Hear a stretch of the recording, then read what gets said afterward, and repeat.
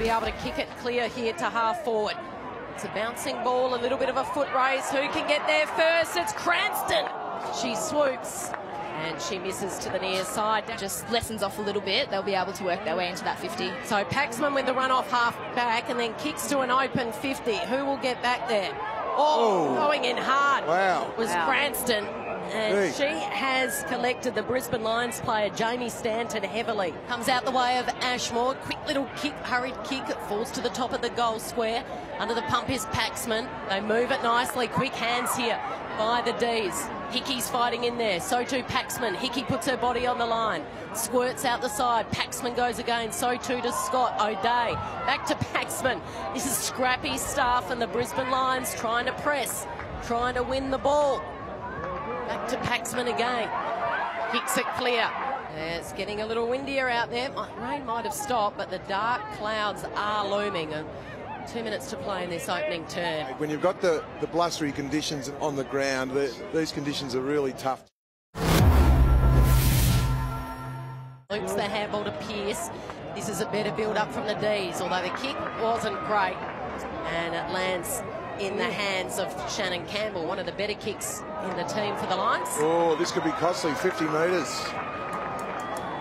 So it could bring Shannon Campbell to within distance. Normally a defender. Technically, the coach says the best kick in the team. So we've given her a big rap, Shannon Good Campbell, and she delivers.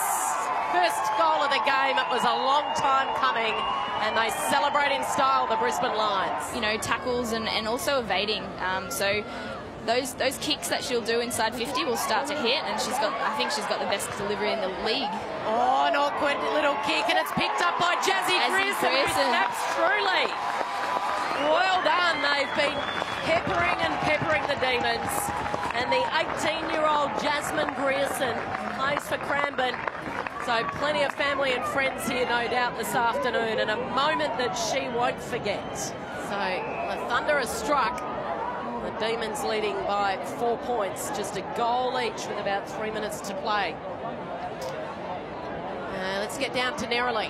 Yeah, they've just called it off at the moment with the lightning strikes above Kelly. The emergency umpire has just blown the whistle and pulled the girls off the ground. So there are obviously concerns for health and safety whenever there is lightning around. So it's an early end to the half as the girls get a massive applause just coming off, which is just fantastic as well. Hopefully we'll be back out here without any further issues for the rest of the game because it's been a cracking contest so far, especially considering the conditions. Well, let's get down just find out exactly what is happening. Happening. We know that the AFL officials are trying to work it out. We don't know whether it is official confirmation that it's half time here. Nerily Meadows with the latest. It's a little bit confusing, Kelly, but basically it's the half time break, but it's not quite half time yet. We've got three more minutes of that second quarter to play. What will happen is after the break, they will bring out the girls and they will play that extra three minutes at the completion of that three minutes, they will then stop, change ends, so just a little mini break in there and play the second half. So it's the lengthy halftime break, but we quite, haven't quite made it to that halftime of the actual game. So this officially is not the halftime score. This is the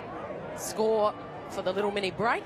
And that's where the game was halted in that area of the ground, hence the umpires will ball it up, not in the centre circles. And we will play the final three and a bit minutes of this opening half and then a one minute break. So back underway, which team can regain its composure and focus and switch on and maybe score a vital goal in this final three minutes before the official halftime break. It's like a game of rugby union in there at the moment. A real scrimmage, fires out. Phillips can't quite pick it up. Dumped in the tackle there for the Demons was Clifford. Comes out the way of Zielke. Really great at ground level there, Zielke. And to Pearce. Kick was smothered by Zielke. The two captains going toe to toe. And this has been picked off. Alliance in Kaslar takes off. Bouncing ball of Frederick Traub, the marquee. She spins, she shoots, she scores. She loves a goal and she's absolutely pumped up the marquee, the 20-year-old from Western Australia.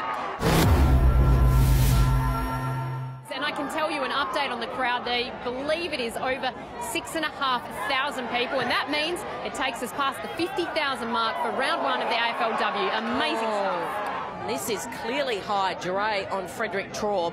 And she's a little slow to get up. Has she got 50 in her wet boot? That's the oh. question. And here she is, making her debut in the AFL Women's Competition and juggling a mark. And Let- she'll have another go at it. Well, let's hope she just goes north to 30 now because she should learn from this. That's, that's a better kick. So a high up and under. She asks her forwards to fly, and they do just that at the back. Can anyone get boot to ball? Former Tassie girl puts it on the left, out in front of Bates. How does it sit? She does well to pick it up, get down low, an awkward half volley, unable to pick it up. Downey's backing back, tackled. In fact, it was Pearce playing in the ruck for the D's. And she's been pinked here. Great tackle applied by Gibson. Can she extend the Lions lead and put them out by nine? It's through. There's the Lions again, capitalising when they've had an opportunity in the forward 50. I mean, they're, they're a chance of winning this game purely because they're getting goals on the board. And that'll come from their captain, Emma Zielke, as well, just Yeah. to play tempo footy. Uh, Oh, what's got- happened here? Is that a 50? A 50's Oh, been that's paid. second. That's So second as the 50. game start, Very undisciplined. Oh, that's not not acceptable. and it's going to take Kate McCarthy Well, in these all the way to within scoring distance. Chance here for Kate McCarthy, former ex-Aussie touch player. Should be in Sydney playing for the Sydney Sevens. Instead, maybe the knee buckler at Cranbourne.